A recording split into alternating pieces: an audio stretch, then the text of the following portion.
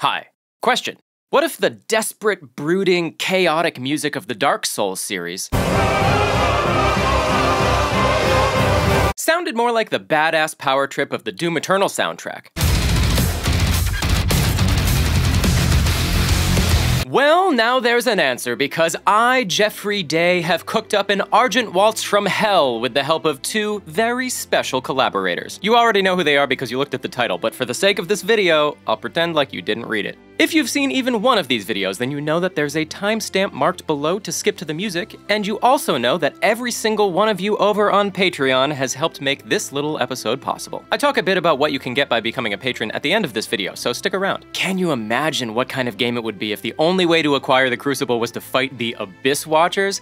I think you should follow Kina on social media and ask her yourself since she drew the thumbnail. Her links are in the description below. If you don't already know who they are, I'd like to introduce you to Game Music Collective. They put together these amazing arrangements and live performances of game music, and I've been watching their stuff forever, especially while I was making a bunch of Final Fantasy covers last year. True story, I actually laughed out loud when I saw the thumbnail for their newest video where they got a couple of monks to sing the Halo theme in a chapel, because there are memes, and then there's taking the time, energy, and money to rent out an empty chapel and then hire actual monks to sing the actual Halo theme in it. It's just something else, really. Anyway, it turns out that a couple of months ago, a guy from over there left this little comment on my One Winged Angel cover, and while that was a gigantic missed opportunity for me, I finally managed to borrow their choir for this very cover. But we are in no rush, I will get to that shortly. Right now, with only a Bloodborne cover under my belt, and sadly because I have only watched these games being played by a friend of mine, I think I need to make sure I understand the Dark Souls world and tone as it relates to the music. So come on, let's see what we can dig up.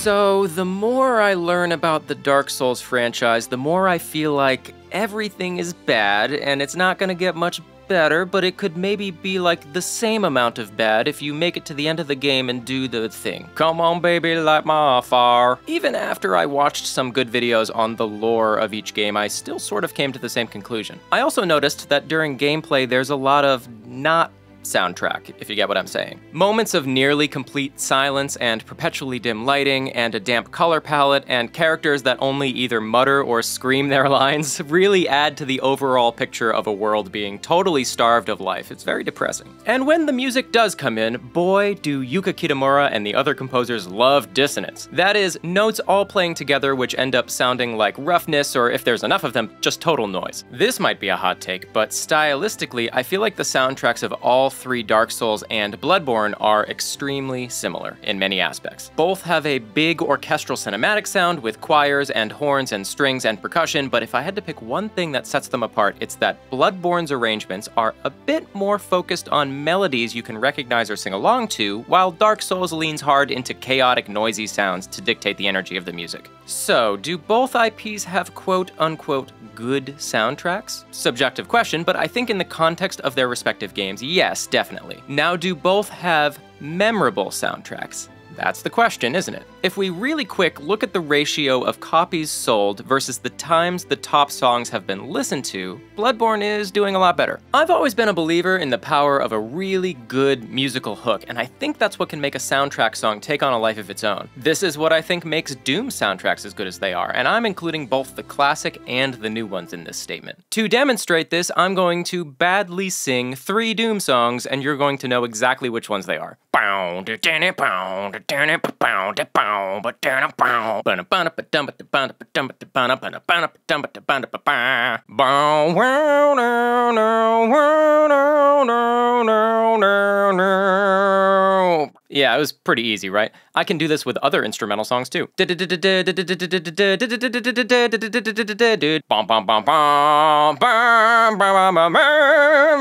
After those Grammy winning performances, now you understand why I only make instrumental music. Anyway, just take that as some food for thought about writing music that doesn't have lyrics. Before I forget, I asked you on Instagram what types of things I should answer in this video, and you gave me a ton of things that I should discuss. Like this one.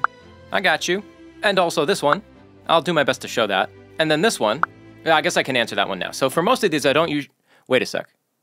Wait a goddamn. S- hey, David, how's it going?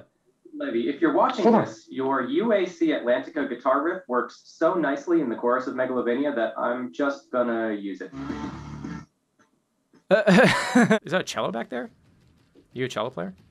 Yeah, right there. Oh, so cool. I unfortunately I don't really get to work with too many people. You know, in my profession, like just as a composer, I'm usually I'm just the guy that's doing it. Right, Even when I was working with Andrew and Doom, like I don't know if a lot of people realize this, but we worked completely, completely separately. Yeah. So I'm wondering, like, you know, how much room did you both get to kind of embellish on the Doom sound and and do your own type of thing versus it being really rigid? You know, we talked to Chad, the audio director, and essentially him and, and Marty and Hugo all saying they, they don't want a Mick clone. That's not why they hired us. Essentially what we're told is, you know, stay respectful what you're doing to to the to the music that came before us and and we can put our own spin on it. And that's exactly what we did. But just, you know, be respectful to that and make sure that it does match with everything else that was was done before us. That's pretty wild. Yeah. Like, then, don't uh, bring in don't bring in strings and taiko drums. You know, right, it's like right. I mean, your Yeah. experience is mostly what, you know, television, where things are like structured out. Uh, mostly film and, Oh, and animation. You get a scene and you put the sound sit and you know right away if it works or not. That, that that was a big challenge with Doom. It's like there were a couple instances when I wrote stuff and it sounded great, and then I would always test it against game footage, and I would put the track in a game footage, and I'm like, no, it's too fast or it's Right. too busy. And Yeah, there's yeah. an instance too. I wrote stuff for more like the first ambient music uh, pieces that I wrote. They sounded good, but later on, once I start writing the heavier stuff, they ended up sounding way too slow. yeah. So the whole thing had to be like chucked out and, and Ugh. start again on that. So that happens. What kind of guitar were you playing?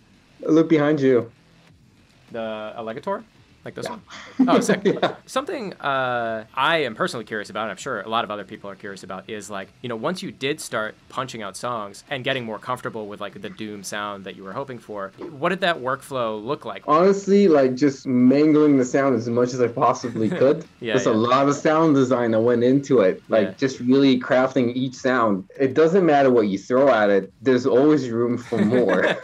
Yeah. which was so much fun. Yeah. And honestly, kind of like working on this game really ruined me. I mean, there's so much sonic possibilities with Doom. Yeah. Can't go back. Yeah, seriously. the key, and I think the secret, is a lot of running really hard through tubes. Gotcha. if you can, that seemed to be the key for me. And um, a lot of compression and a lot of upward compression. There's a plugin on the market that came out recently, the um, Argent compressor. Oh, I on, think. David. I think it's Shameless um, plug. It was just fun. It was just like finding a sound, and the sound. By the time I started it, from the moment I started, but and, and by the time it was done, it sounded nothing like what it was in the beginning. So Yeah. it was really like taking like the most basic, anything from a sine wave to I don't know what, just running it through all the equipment and seeing what you could do to it and what's going to come out of it. And it's, it's super exciting. It's Yeah. super fun. It's super nerdy. I had a big problem when I got out of Doom. I was working on like a fractal based film. I was in the habit of just destroying sounds. I couldn't get out of it for a little Uh. bit. Doom is such an it's such a unique thing to work on. Yeah. It doesn't really translate very well to other things. Yeah. This must be a boring interview for your cat. He only wakes up when I play heavy stuff. I had to open up my one of my sound cards a few months ago. There was like three inches of white hair in there, Oh, all over the components inside. Hey, man, you, are you going to be around tomorrow if we get this started? Yeah, man, I'm ready.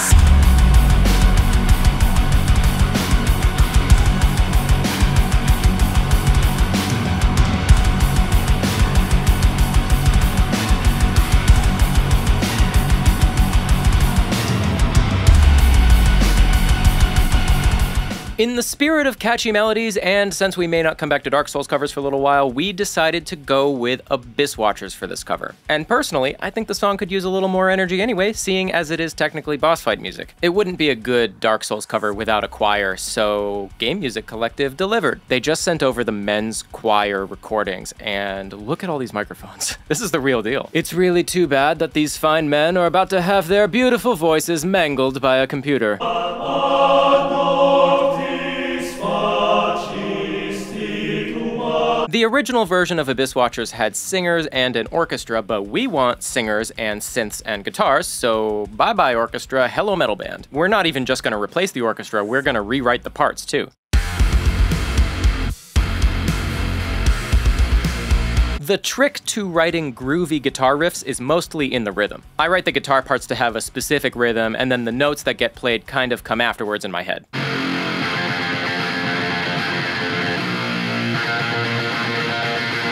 It turns out that if you write that way, you can make the drum parts really quick too. If I write a couple of different rhythms and then switch them up occasionally, things stay pretty fresh.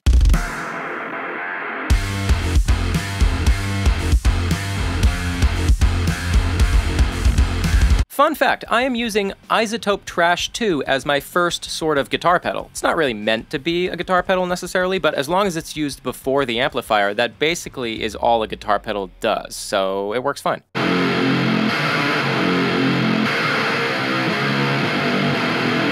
One misconception about extended range guitars is that they are hard or different to mix than regular guitars because they are low. The thing about guitar gear and distortion is that once you get the sound coming out of your guitar amp, there's actually a ton of audio information across the entire frequency spectrum. For this song, I pretty much just roll off the low end at about 100 hertz, and I roll off the high end a bit, and then I do a fairly standard metal guitar EQ treatment in the middle. For the guitars, it's mostly about mids rather than lows. The lows are reserved for the bass guitar. Game Music Collective also sent over these female vocal parts, which are from the Orchestral Tools solo opera library, and I think they fit really nice. I want to make sure I don't lose the Dark Souls vibe completely, which has a men's and women's choir, and since we're attempting to blend the genres, and also since I want to separate this song from the Bloodborne cover I did earlier, mixing this opera vocal with some sort of lead synth might help a lot.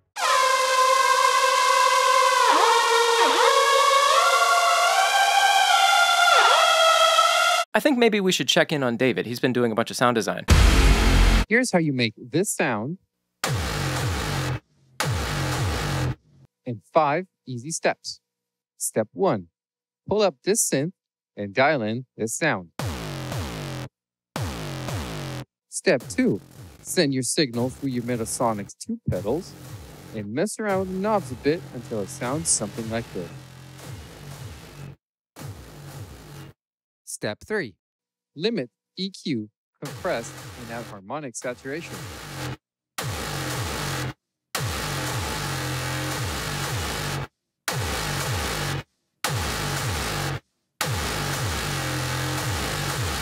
Step 4. Overload the input of your tube-based summing mixer.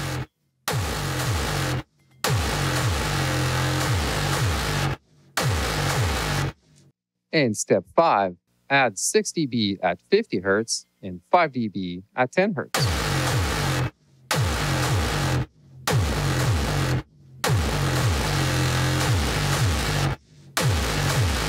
And there you have it. Easy peasy. Okay, I'm going to show you all the different tracks that make up this section. Here's what it sounds like when everything is in.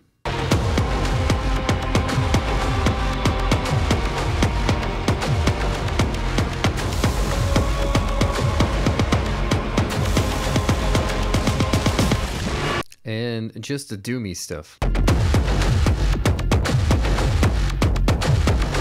Alright, I'm going to show you all the different tracks isolated, starting with our holy shit synth kick.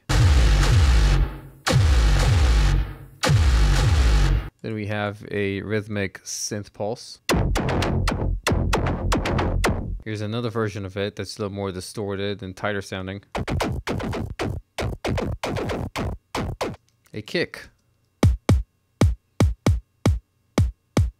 Another pulsy thing.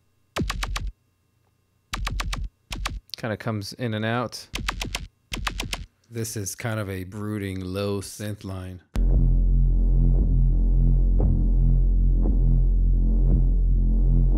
And this ambient thing.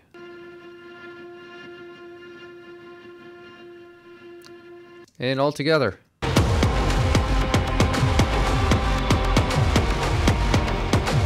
That's it.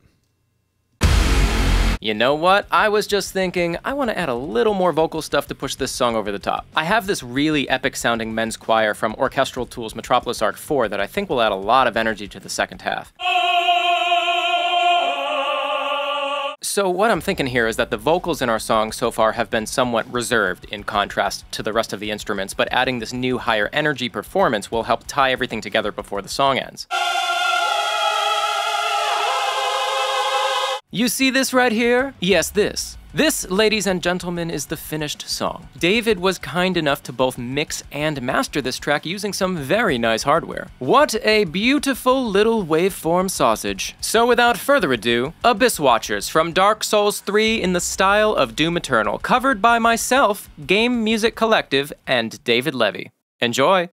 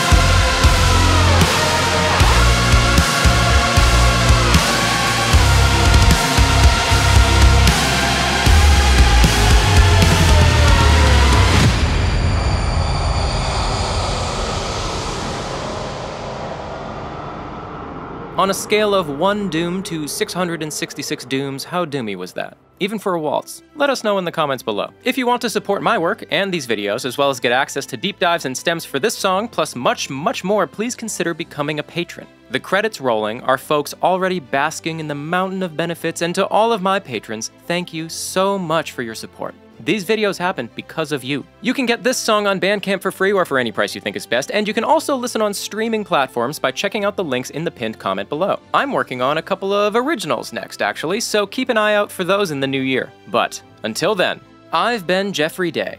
You've been incredibly cryptic, but worth it if I read the lore, and I hope you're back again for the next video. See ya!